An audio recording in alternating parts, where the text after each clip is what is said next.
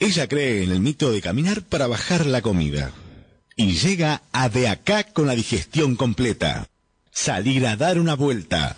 Una historia de Melissa Sansota. Trío, fiesta, patifiesta, quilombo, papas. Necesitaba papas y salí a dar una vuelta a ver si pasaba las nueve de la noche enganchaba alguna verdulería abierta y encontré cerrando justo justo a la que funciona a unos metros de mi departamento. Y mientras le pedía dos papas grandes y la piba me daba cuatro chiquitas, viste que no puedes pedir dos papas grandes en la verdulería porque te empernan siempre con las chiquitas, me consultó, ¿de qué trabaja señora? Le dije que de nueve a seis en una empresa y que a la noche hacía otras cosas. Claro, me dijo, por eso vas y venís a cualquier hora, siempre hablamos de vos con mi marido. Marido. Tiene 15 años y ya está juntada, ¿me entendés? Wilfredo se llama. Me pregunta si yo tengo novio, le digo que no. Me pregunta si tengo marido, le digo que menos. Y mientras me, me preparo los seis pesos y le busco las monedas para que la conchuda no tenga que revolverse el bolsillo para encontrar una moneda de 50 y regalarme una uva para compensar la de 50 que falta, y la pesco mirándome el culo. Pero mirándome el culo con una impunidad solo vista en obras de construcción o en proctólogos. qué linda calza, me dice. Evidentemente yo no estaba equivocada, la mocosa me estaba mirando el culo. Le agradezco, le digo que me salió 90 pesos, me dice que me queda pintada y me hace dar vuelta para ver si tiene bolsillos. Me siento observada, me mira como yo miro las pizzas en la bandeja de los pizza libre a ver si me gusta o espero a la próxima, ¿me entendés? Y me toca un mechón de pelo y ahora dice que le gustan mis rulos, que quiere que le enseñe a hacérselos. Le digo que los míos son naturales y que de nuevo, bueno, gracias, gracias por el cumplido. Pero la muy zorra no me daba la bolsa de papas, reteniéndome infinitamente en este diálogo sobador, y me dice, Wilfredo siempre me pide que le pregunte a usted si vive cerca de acá. Le digo que sí, que vivo justo al lado, y automáticamente esta mina se invita a venir una noche con Wilfredo a mi casa y me explica cómo sería la joda, que mientras yo le hago cosas en el pelo, Wilfredo nos mira, nos cocina algo, nos agasaja. Listo. Alerta trío activada, la verdulera me quiere enfiestar con el marido. Y no es que la mina sea fea, que me asuste terminar llena de olor a mandarina buscándome en el orto la semilla de la palta. No pasa por ahí. Pasa porque hay distintos tipos de participación en tríos. Quien dice que es fácil lo dice porque no quiere que se le asuste la novia, pero realmente no es para todo el mundo. Primero, principal. Establezcamos las partes participantes en un trío en los dos casos más populares. Una nena, dos nenes. ¿Estamos hasta ahí? Acá caemos en un problema de base fundamental que es causar muchas veces de abortar la misión del trío. Una nena y dos varones, para la mujer se trata de una práctica invasiva. Agujero que, que ven lo quieren colonizarlo con macho. A ver si nos entendemos. En esta alcancía las monedas entran de a una, ¿está?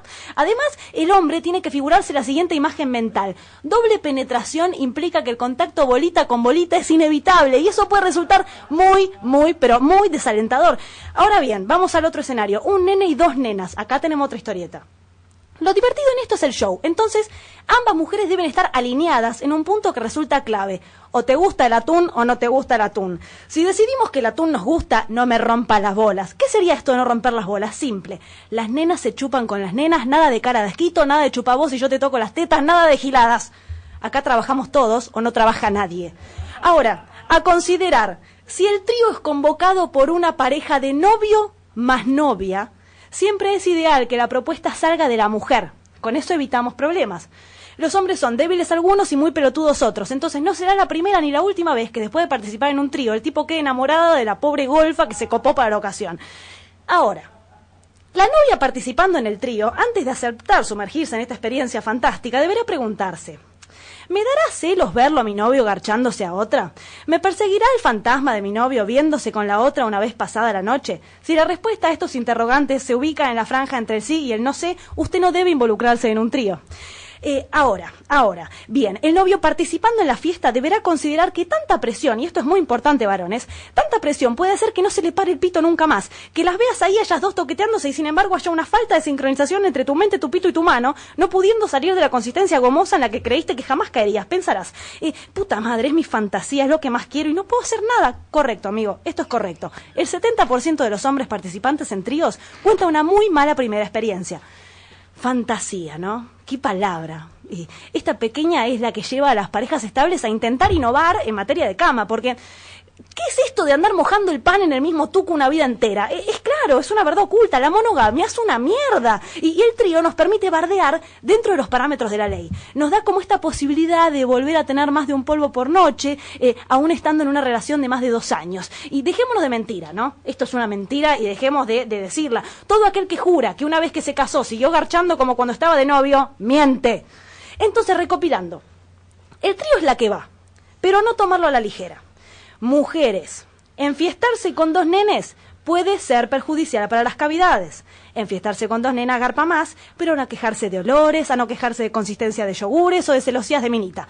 Sepan una cosa, el sexo con mujeres tiene una ventaja. Las nenas ya sabemos dónde está el frijol. No hay que explicar nada, no hay que dibujar mapas políticos, no hay que señalizar con luces de Navidad que es un clítoris y que es un lunar. Hombres, es ley.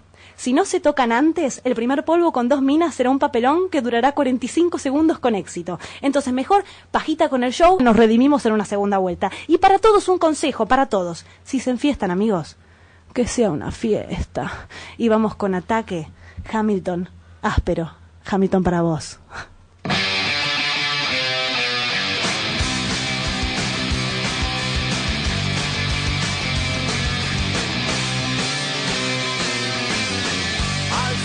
cabo era sentir y nada más. Tan simple que hubo que empezar a complicar. Vos sabés, yo